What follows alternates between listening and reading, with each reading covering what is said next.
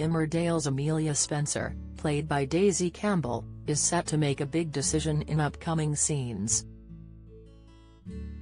Last month, the teen was left heartbroken when her dad Dan, Liam Fox, was sentenced to eight years in prison.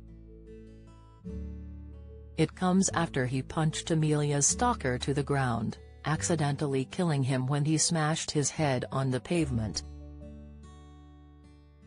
After being convicted of manslaughter, the teen has been putting on a brave face for her family and friends. Adamant to show people she's capable of living alone with baby Esther, Amelia has tried to continue as normal, although deep down she's struggling to manage. Shaking Jane McDonald forced to stop activity after she couldn't breathe Official spoilers for the ITV soap reveal next week, the young mum will finally come to terms with the truth. Speaking to her boyfriend Noah Dingle, Jack Downham, Amelia admits she's been battling anxiety over living alone. Set to make a big decision about her future, will fans see her leave the village? However, it's possible Dan's ex-girlfriend Kerry Wyatt, Laura Norton, could make a reappearance to help Amelia cope. Don't miss.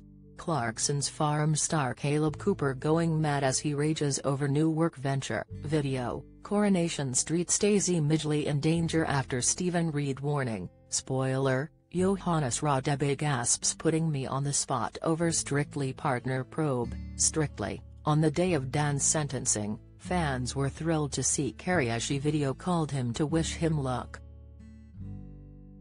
After leaving at the end of last year, viewers believe she could be making a comeback, which would help Amelia's struggle with living alone. Taking to Twitter, at Chris1968 he commented, Kerry coming back soon then.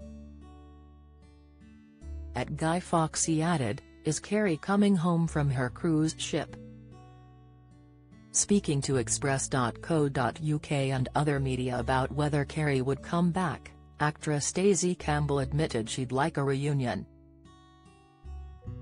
She shared, I think Amelia would love that, they have been so close for years, even though Dan and Gary are not together anymore. But it would be lovely to have Kerry back to support Amelia as she is like a second mum to her. I think Amelia would feel much more confident if she was there, Emmerdale continues weeknights on ITV from 7.30 p.m.